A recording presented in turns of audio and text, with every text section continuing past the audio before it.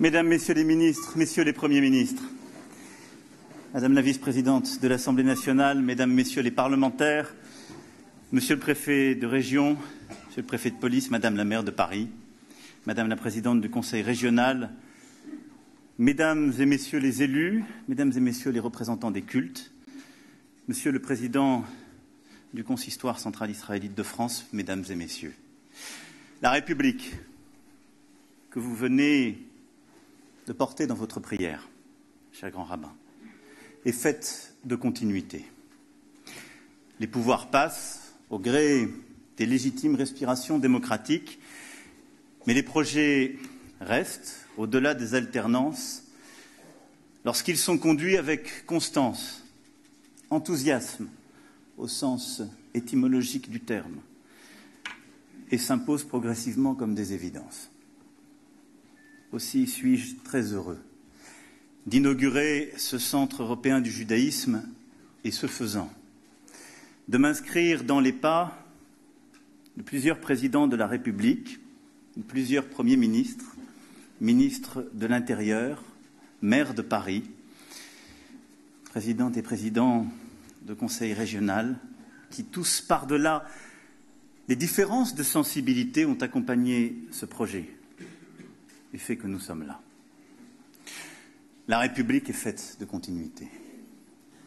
Et les valeurs restent aussi. Je suis présent parmi vous au nom d'un principe, la laïcité. Vous l'avez l'un et l'autre évoqué. Qui vite aussi par des moments tels que celui qui nous réunit ce soir.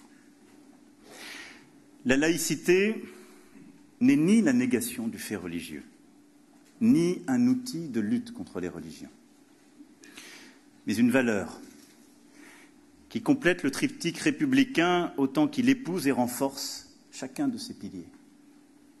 La laïcité, telle que la concevait Aristide Briand, est d'abord un principe de liberté.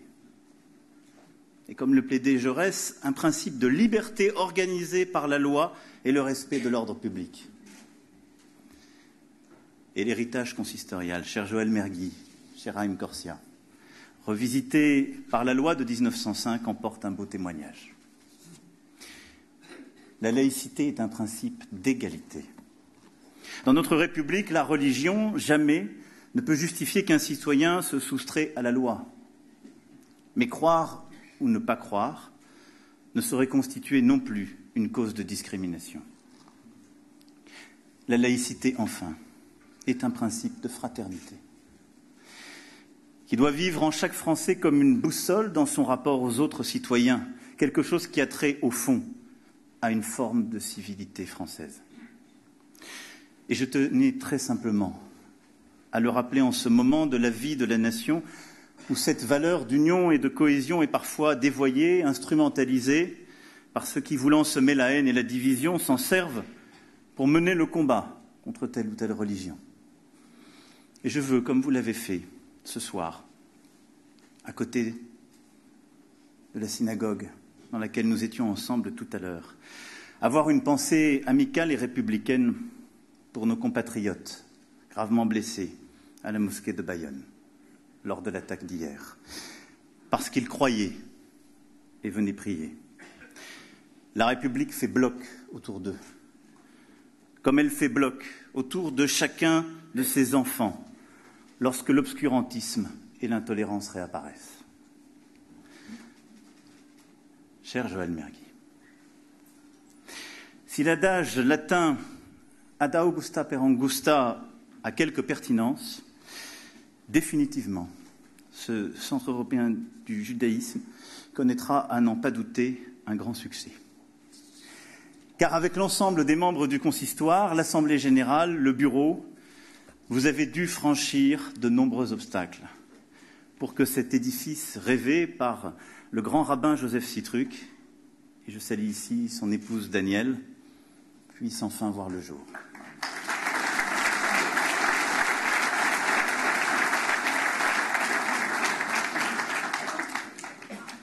Il a fallu trouver un terrain, et je m'associe aux remerciements formulés à l'instant à l'endroit de la ville de Paris. Attirer des financements Et je tiens à saluer l'ensemble des donateurs qui, partenaires institutionnels, associations, fondations, cher David de Rothschild, cher Eric de Rothschild, cher Patrick Drahi, ont rendu ce projet possible. Lever tous les freins juridiques et réglementaires, et je sais combien ils demeurent nombreux malgré l'action résolue des gouvernements successifs pour les effacer. Durant plus de dix ans, donc, en plus de vos fonctions de président du consistoire central et de président du consistoire de Paris et d'Île-de-France, vos jours, souvent vos nuits aussi, ont été, cher Joël Mergui, ceux d'un entrepreneur prenant tous les risques pour faire aboutir un projet auquel il croit. À cette différence, sans doute, par rapport aux entrepreneurs de droit commun, si j'ose cette formule, que vous ne recherchiez, vous, ni part de marché, ni profit, simplement agir pour cette institution riche de 210 années d'histoire qu'est le consistoire, pour les Juifs de France, plus encore, permettez-moi de le dire ici, pour l'intérêt général, pour la République.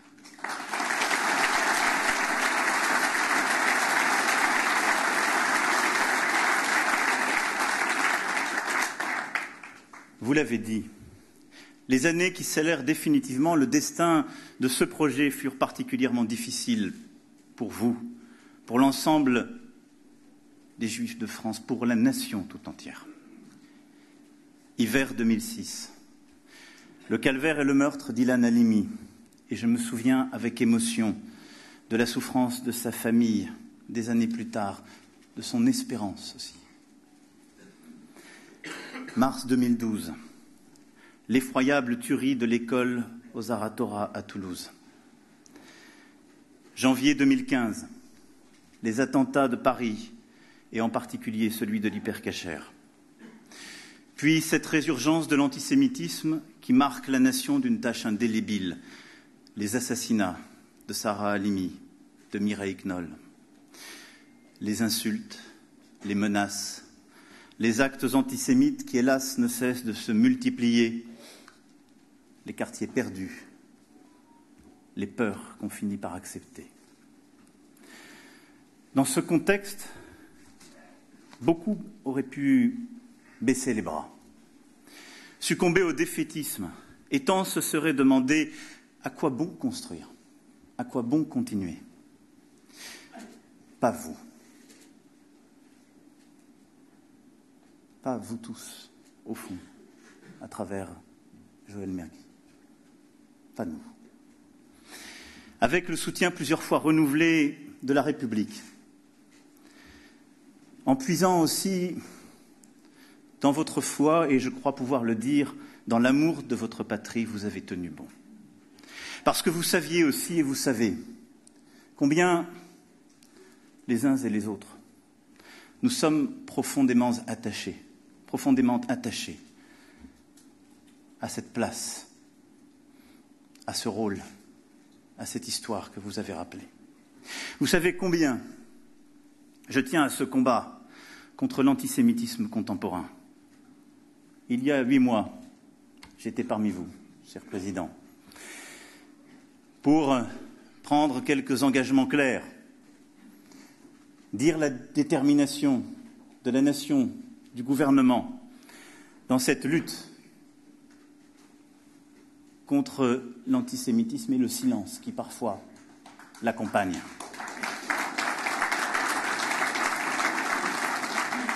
Le gouvernement et le Parlement ont commencé d'agir.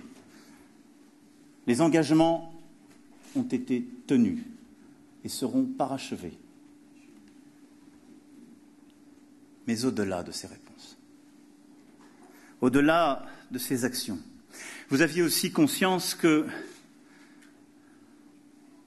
le moment que notre nation traverse justifiait davantage quelque chose peut-être de plus grand que nous, de plus puissant que nous, un acte de résistance, un acte aussi de confiance, celui qui nous réunit aujourd'hui. Alors même que tout conduit à douter, au moment où l'histoire revient avec son pas lourd et la bête quaternaire se réavance pour nous menacer.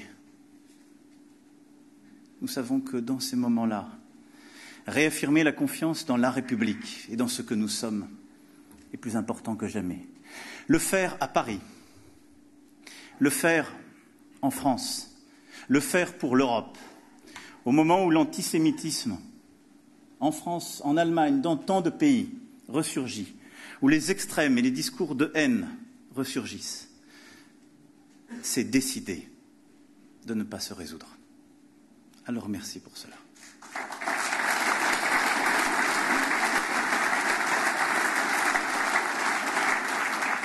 Car résister, ce n'est pas simplement protéger, continuer de le faire comme le ministre et avec lui l'ensemble de nos forces de l'ordre continueront. Ce n'est pas répondre, non, c'est aussi convertir les cœurs et les esprits. C'est ce qui se fait ici, dans ce lieu ouvert sur la ville, ouvert sur la société. Un centre qui, cher Raïm Corsia, est désormais doté de murs, tout proche, le boulevard de Reims, et je ne crois pas au hasard objectif, et qui trouvera, j'en suis sûr, un souffle à la source d'une culture, le judaïsme, qui a coulé dans les veines de l'Europe durant plus de deux millénaires et a contribué à forger notre civilisation.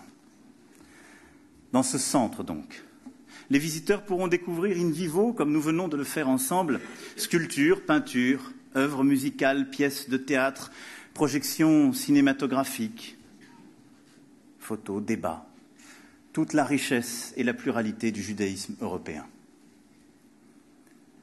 Mon rôle n'est évidemment pas de m'immiscer dans la programmation qui sera celle du centre. Je crois pouvoir simplement deviner sans risque que seront ici proposés quelques beaux voyages dans l'espace et le temps à la découverte de trésors enfouis de notre culture commune. Je suis sûr qu'on y voyagera à Cordoue au IXe et Xe siècle, où les Juifs qui, malgré leur statut de dhimmi, développèrent une culture extraordinaire, géographie, médecine, mathématiques, philosophie, poésie, faisant alors le rayonnement de toute la région. Et l'Espagne vibre encore des noms du philosophe Salomon ibn Gabirol, du poète Moïse ibn Ezra, du médecin Judas Lévi, qui incarne l'âge d'or de ce Moyen Âge ibérique. Je sais qu'ensuite, vous les emporterez jusque dans la Champagne des XIe et XIIe siècles, protégés par les contes de la région. Rachid de Troyes écrivant des commentaires talmudiques qui, bientôt diffusés dans toute l'Europe, contribuèrent à ce que les historiens appellent la petite Renaissance et sont venus jusqu'à nous et renferment, ne l'oublions jamais, parmi les plus anciens écrits comportant des mots en langue française.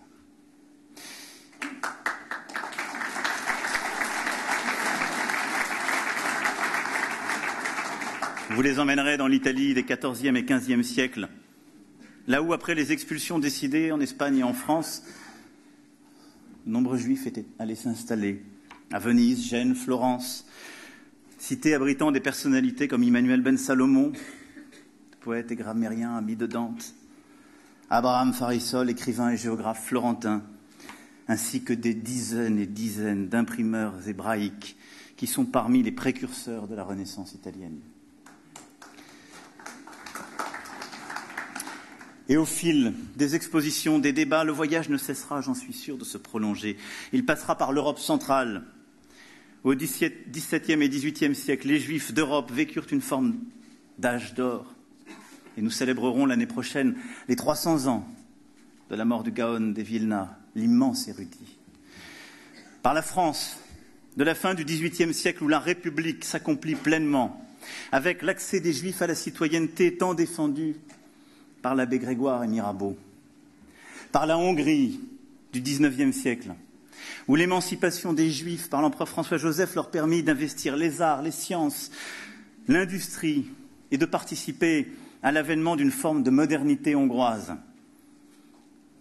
Et puis les persécutions devenant de plus en plus fortes en Europe centrale, la France à nouveau, au début du XXe siècle, Zadkine, Chagall, Soutine. Et les refuges trouvés auprès de l'école de Paris et dans tant de lieux. Et même ces ghettos où, durant la Seconde Guerre mondiale, la culture judaïque résista aux pires atrocités.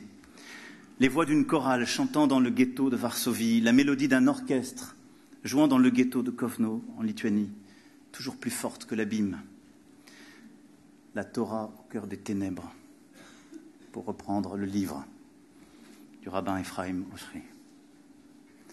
Tant de persécutions, tant d'exils, tant d'histoires tragiques. Mais tant d'entre là, inexorables, avec notre culture européenne. Et toujours, même au cœur de l'horreur, tant d'espoir, tant d'œuvres exceptionnelles de l'âme et de l'esprit. Toujours résister. Par la beauté, l'intelligence, l'ouverture. Tant de fils de savoir et de culture tissés entre les différents pays d'Europe par la diaspora juive, par le peuple juif.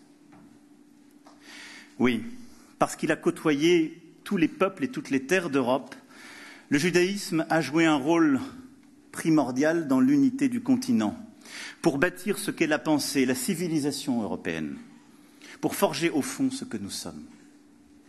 Oui, tous les Européens de l'Atlantique à l'Oural sont un peu des enfants de ces passages du judaïsme. Oui, il est une part juive de l'âme européenne, façonnée dans les temps sombres, des humiliations et des expulsions, autant que dans les jours heureux, des protections et des émancipations.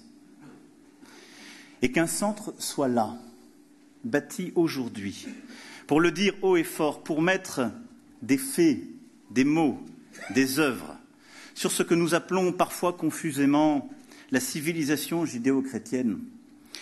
Le président de la République française que je suis, européen passionné que je suis, ne peut l'accueillir qu'avec une immense bienveillance.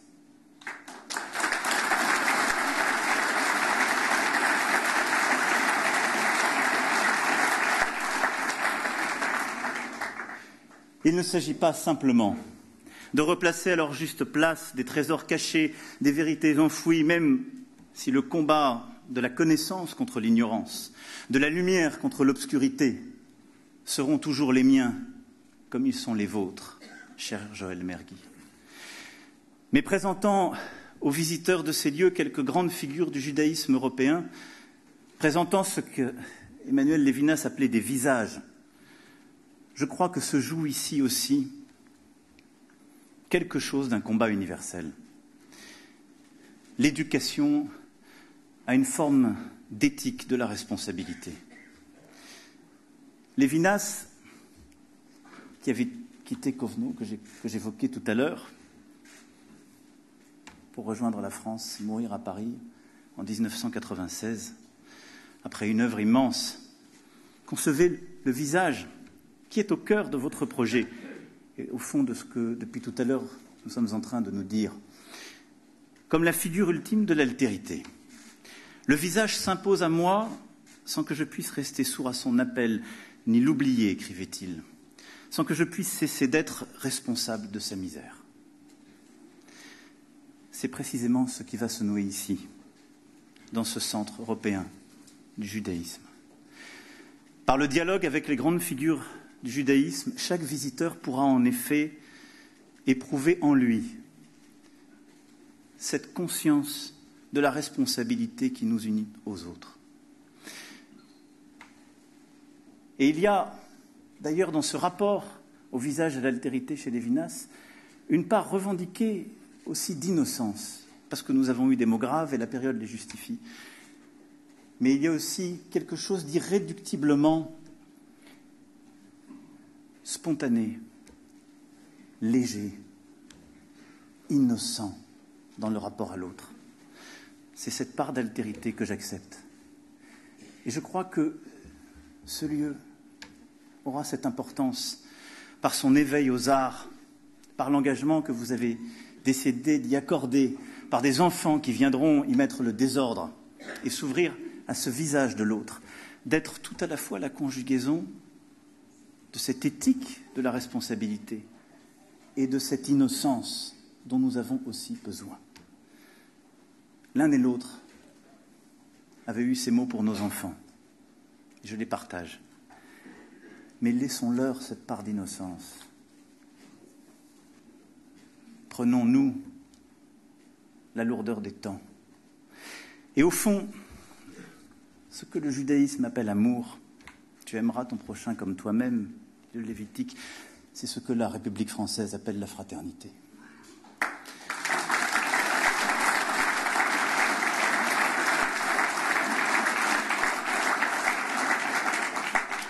Alors merci. Merci, cher Joël Mergui. Merci, mesdames et messieurs, les membres du consistoire, donateurs et partenaires de ce combat mené, de ce combat déjà gagné, de ce cadeau fait à la nation et au continent, de démontrer qu'on peut à la fois aimer sa religion, sa culture, et aimer sa patrie, chérir la République.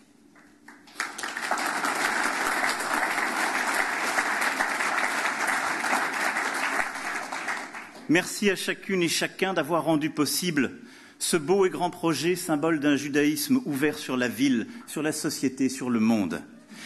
Merci aussi à ceux qui le feront vivre, au-delà de nous, parce que le judaïsme est aussi la transmission, et que ce centre est un acte de foi dans le futur, une promesse d'avenir. Et merci ce faisant de contribuer à faire vivre cet humanisme dont la France, l'Europe ont tant besoin. Et qu'il y a quelques siècles, le judaïsme, avec quelques autres courants philosophiques et religieux, a contribué à faire naître sur notre continent.